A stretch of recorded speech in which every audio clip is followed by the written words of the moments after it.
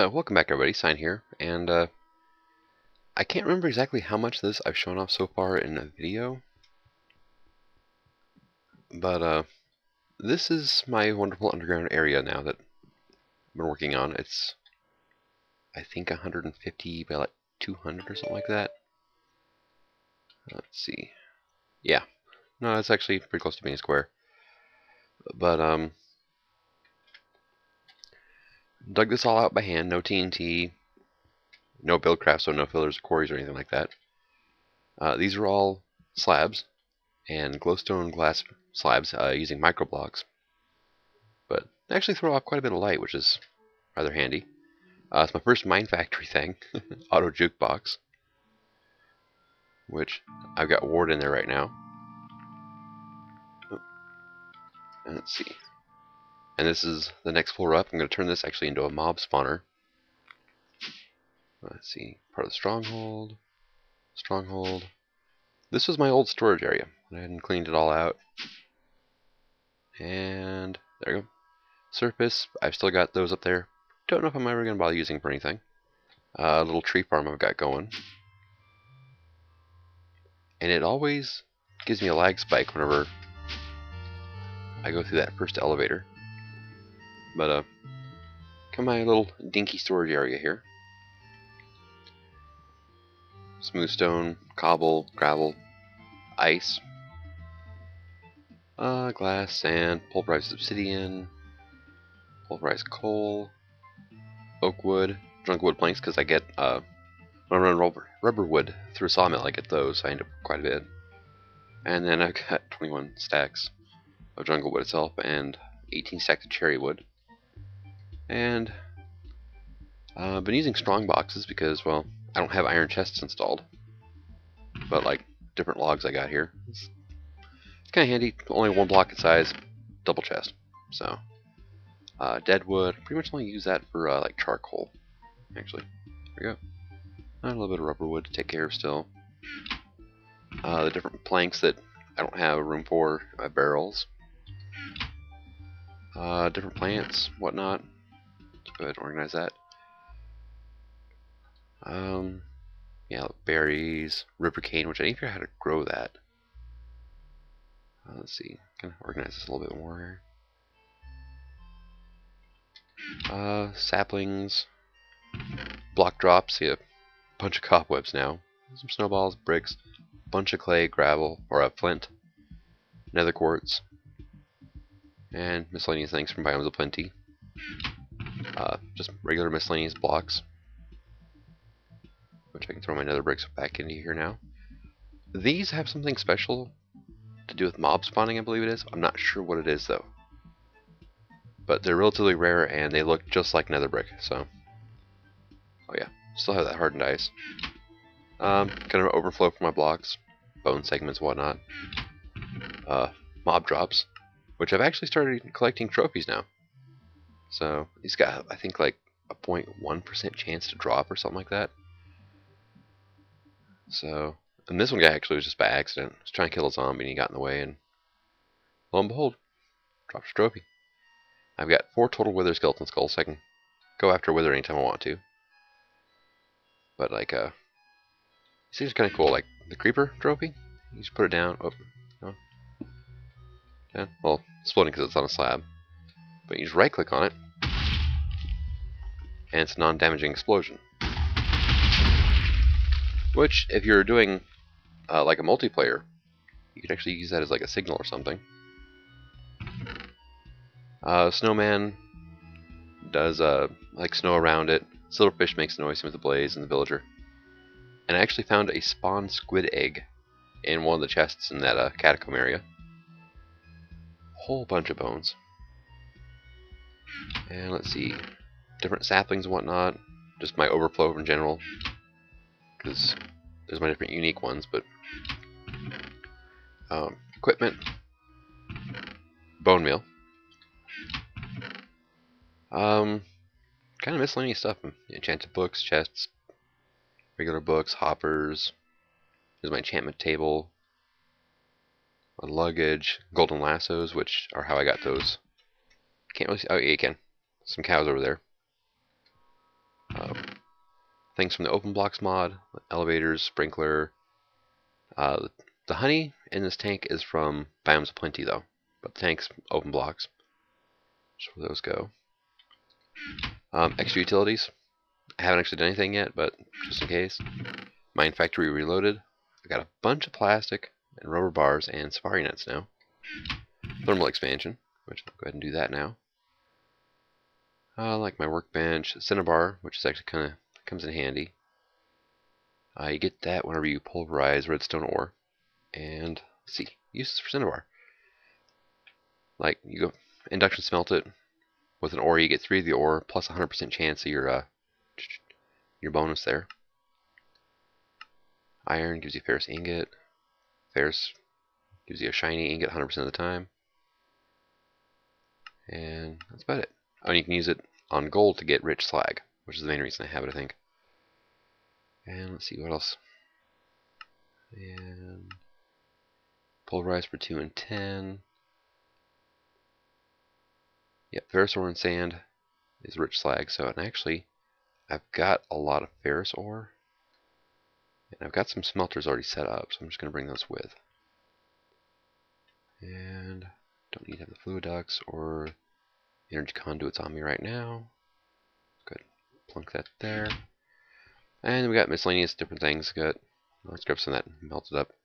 But uh glowstone dust, redstone, lapis, coal, eight stacks of diamonds, 28 emeralds, ferrous ingots, which I need to run through an induction smelter with iron to get more invar, uh, copper, silver, lead, tin, gold, electrum. I only have one electrum bar in there. I've used the rest of them up. 44 shinies, which for the most part is going to be decorative blocks. So, and then filing cabinets. They store different items with the same item ID number, like all these little statues and stuff. If you look here, they're all 1551.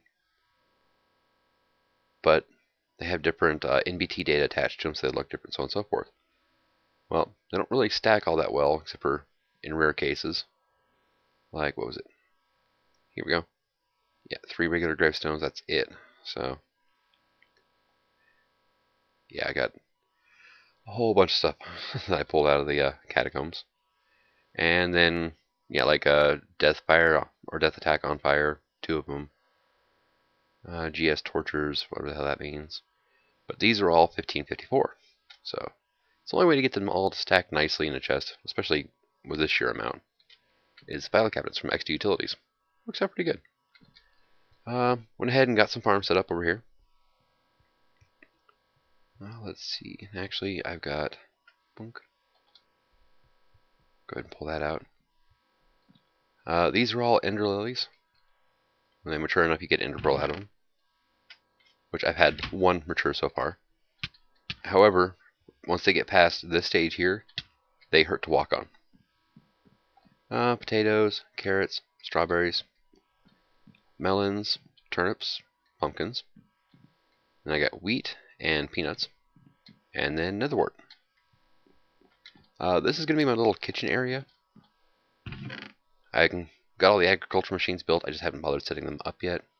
Bunch of salt, strawberries, ceramic plates, cups, bowls, uh, persimmons, which you can't do anything with, I believe. Yeah, nothing. Uh, berries you can make ambrosia and fruit salads out of. So, yay there. Kind of curious how to make this, but I haven't run into like pixie dust at all yet. Uh, honey jars from the nether. Haven't run into celestial uh, shards. So, gonna have to wait a bit. Bunch of raw meat to cook up stuff. Uh, sugar cane to make sugar out of. Bones for cooking with whatnot. And crafting table. And I've actually color-coded paths from the elevator to different areas so far. Like the green goes to the farms and then all over to the cows there, which is going to be cows, pigs, chickens over there. As far away from everything else as possible so I don't have to listen to them. Uh, the white's going to go to the kitchen area. Uh, red goes over to my gener power generation, which I haven't bothered finishing the wall up yet, so I can easily hop back here and show everybody. Redstone energy cells, and a ton of magmatic dynamos. Oh, it's kind of cool. I didn't realize you could actually kind of see through it. learn something new.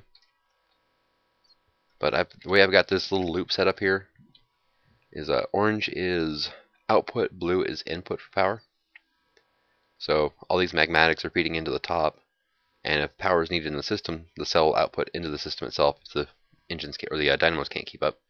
Uh, this one's got the same system going on, feeds in through the sides, and it's got a loop on top. And that entire row along the bottom is magmatic dynamos. And then I've got oh my crucibles going here. Got five of them. I've got each one's got its own energy cell. Which need be I can run this line over here, change these all to orange, and I will have you know what, like 50 million more RF at my disposal. It's my lava tanks. And this is back to the back side of my uh, machinery, machinery area. And these are just hardened energy cells because like this one's only powering four machines. I don't really need ability to output a whole lot of RF at once. You know, same with this one, this one. This one's powering 10. I might actually have to upgrade this to a redstone because half these are uh, magmatic crucibles and they take a lot of power when they're running. Smelters, sawmills. So let's run around to the other side here and I'll take a gander at it from the front. Alright, and these are half blocks, so you can't really do it that easily. But we have four pulverizers. Uh, each set across from each other pumps into the same strong box here. Uh, completely empty for now.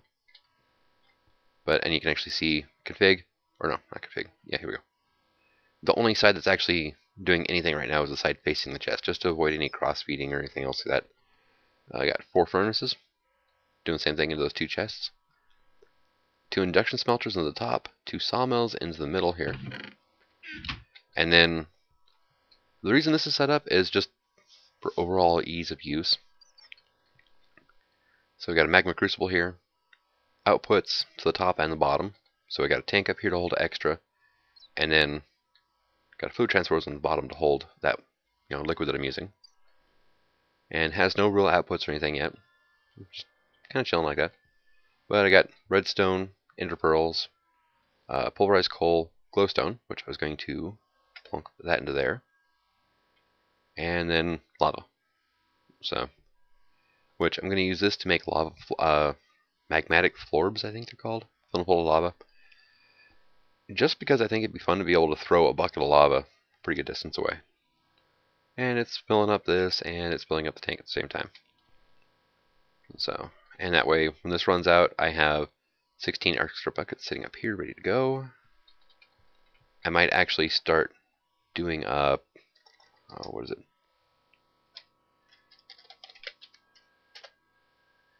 Um, do, do, do. Here we go. Um, let's just start off with this. Portable tank is glass, round to copper. Uh, holds 8 buckets. So, and then harden that, holds 16, which you just put Invar around the old one. You put hardened glass around the hardened tank, get reinforced, holds 32 buckets. And then you put Enderium around the reinforced, and it'll hold a full 64 buckets. So, Enderium's kind of a fun little thing. Enderium blend is 3 pulverized tin and a pulverized shiny with a bucket of resonant ender. Which is what this guy's for pretty much. But one of the main things we're going to do is I uh let's get that going. Uh, let's get some silver, some iron. Okay. I went mining. Strip mining. Again. So I have got a lot of materials to process. I go to ores here and I go, I pull out my ferrous ore. Here to these smelters. Uh, like so. Yeah. And is it working reverse still? It does. Okay, cool. So it doesn't matter. Well, that's fiance texting. But goes through, dumps it straight into this chest here. I get three ferrous ingots and one shining per ore. And then we go over here, and I'm getting more cinnabar as we speak already. I got redstone, pulverized iron coming in. And same here. Do I have anything really worth cooking? This I need to use a fortune pick on. Um, ruby ore. No. These are all the biomes of plenty ores here. Or gems. Peridot, topaz, tanzanite, which I already had, malachite, and ruby. And then salt. That's agriculture. But I think I actually may have all of them now, so I could actually get to the uh, the celestial dimension, or where the hell it's called. And there it is. So I'll take care of that off camera. I just wanted to grab that while I was thinking about it. And let's see. What else do I have? Let's throw some rubber wood in, I guess, if I had a bunch. Um, I haven't really done a whole lot. Actually, this clearing this room here out took forever. and these are all regular stone bricks up there. And what I'm going to do is uh, set up a mine factory grinder. What is this again?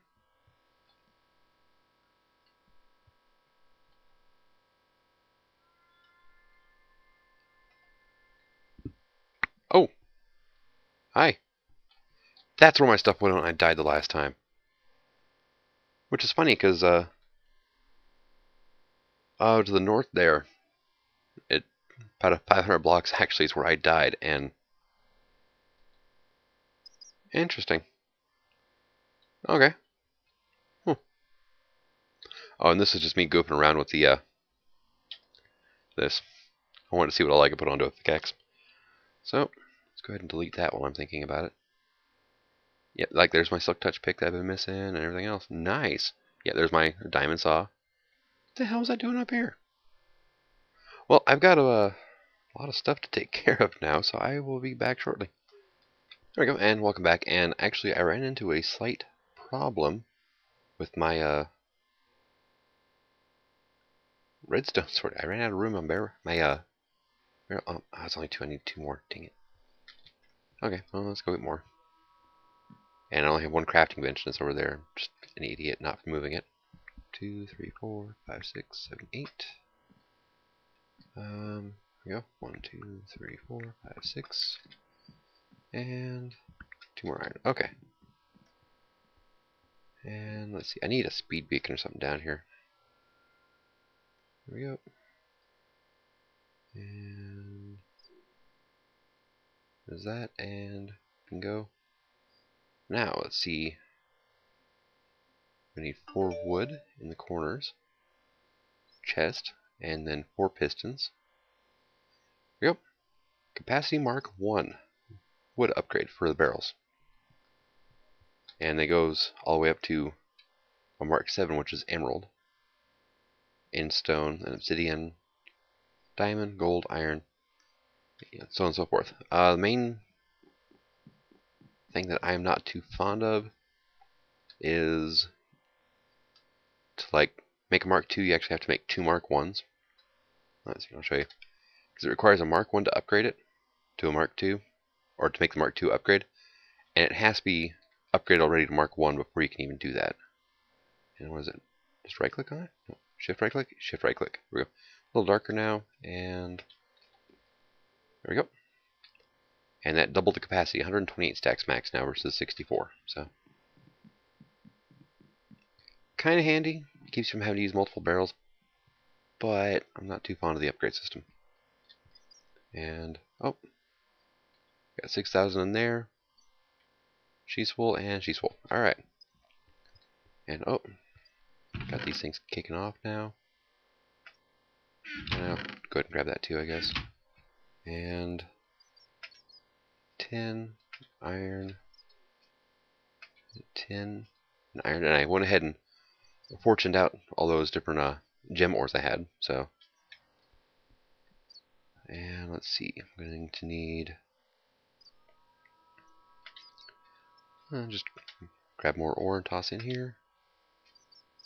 It's not an ideal system. It's not fully automated by any means, or does the job, and it's actually relatively lag-free. It just requires a little bit of user interaction is all.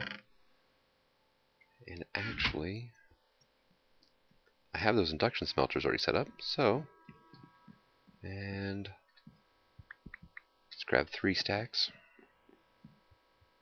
I probably should grab two because I only do two at once anyway. Damn. Alright, let's grab some iron now. And let's get you guys cooking. There it goes.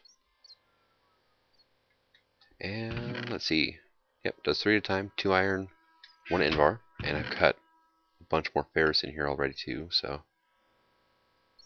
nice.